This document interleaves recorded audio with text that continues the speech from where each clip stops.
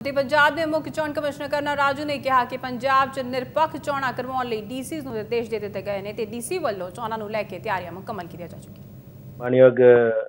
ਮੁੱਖ ਚੋਣ ਆਯੋਗ ਜੋ ਪੰਜਾਬ ਦੀ ਜਿਮਨੀ ਚੋਣ ਵਾਸਤੇ ਸ਼ਡਿਊਲ ਜਾਰੀ ਕਰ ਦਿੱਤਾ ਗਿਆ ਹੈ ਦਿੱਲੀ ਦੇ ਵਿੱਚ, ਸਾਡੇ ਕੋਲ ਪਹੁੰਚ ਵੀ ਗਏ ਹੈ। ਨਾਲ ਹੀ ਨਾਲ ਅੱਜ ਤੋਂ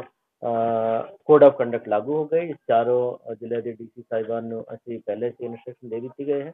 ਜਦੋਂ ਇਲੈਕਸ਼ਨ ਡੇਟ ਦਾ ਐਲਾਨ ਹੋ ਜਾਂਦਾ ਹੈ, ਤੁਰੰਤ ਕੋਡ ਆਫ ਕੰਡਕਟ ਲਾਗੂ ਹੋ ਜਾਵੇ ਔਰ ਨਾਲ ਹੀ ਨਾਲ ਤਿਆਰੀਆਂ ਸ਼ੁਰੂ ਕਰ ਦਿੱਤਾ ਜਾਵੇ। ਸਾਡੇ ਕੋਲ ਈਵੀਐਮਸ ਦਾ ਵੀਵੀਪੈਟਸ ਦਾ ਮਟੀਰੀਅਲਸ ਦਾ ਪੂਰਾ ਇੰਤਜ਼ਾਮ ਹੈ, ਕਿਉਂਕਿ ਹੁਣੇ ਜਨਰਲ ਇਲੈਕਸ਼ਨਸ 2019 ਪਾਰਲੀਮੈਂਟ ਵਾਸਤੇ ਮੁਕੰਮਲ ਕੀਤਾ ਗਿਆ ਹੈ। ਸਾਡੇ ਕੋਲ